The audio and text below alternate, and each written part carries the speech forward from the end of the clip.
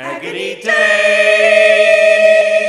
Hi, I'm Agony Dave, and I'm here to answer your ridiculous questions.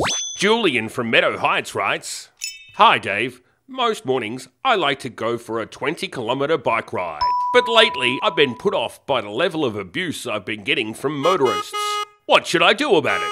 Julian, I expect that you are one of those punces in lycra. Firstly, I'm sick of seeing your tiny dick and huge balls behind a taut, thin layer of material. You're a flog. Maybe you wouldn't get abused so much if you actually paid for the privilege to ride your bicycle on the road, like motorists pay to drive their cars on the road. You're a self righteous fuckwit. Do the world a favour and shove your $10,000 De Rossi sports bike up your baguette. Sit down and watch the Tour de France until your eyeballs melt all over your bitch tits. Hi, I'm Dave. And when I'm not reading thousands upon thousands of abuse filled questions from you fuckheads, I like to take a break. And when I take a break, I like to chew gum. And the only gum that I choose is Dyslexic Dan's brand gum. Try all of Dyslexic Dan's chewable flavors Cantaloupe flavor, Punana flavor, or my favorite, Original flavor. So try Dyslexic Dan's gum. It'll get the taste of shit right out of your mouth.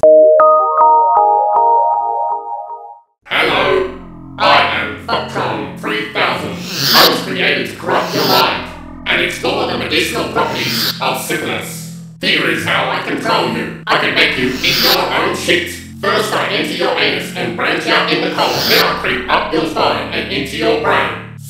Mission will be complete when I have taken away every liberty you have through fear.